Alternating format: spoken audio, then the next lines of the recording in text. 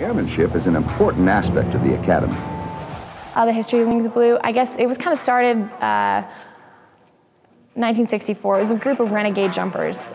It was uh, an interesting beginning, to say it kind of. Maybe parachuting isn't for everybody, but a lot of cadets think this is the greatest sport ever.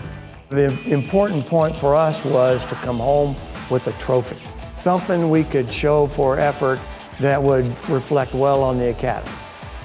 Some of them jump almost every day and a half a dozen times on weekends.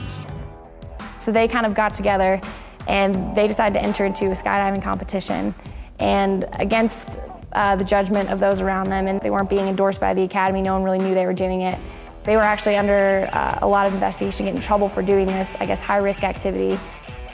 Risk is, is something that you have to, to look at in a number of ways, and it has a great value. I mean, you begin to learn where the edges are. Uh, there are those times in a person's career where the only acceptable outcome is success. And so in those kinds of situations, you know there's great risk, but you risk your life, and that's the ultimate sacrifice that we often talk about in this profession. And so risk to a leader involves all that. What's the mission? What are we doing? Is it worth it? And, and, and you know that when you step into risk, you're learning and you're advancing the craft. The cadet parachute team competes in intercollegiate meets and usually finishes first. They're called the Wings of Blue.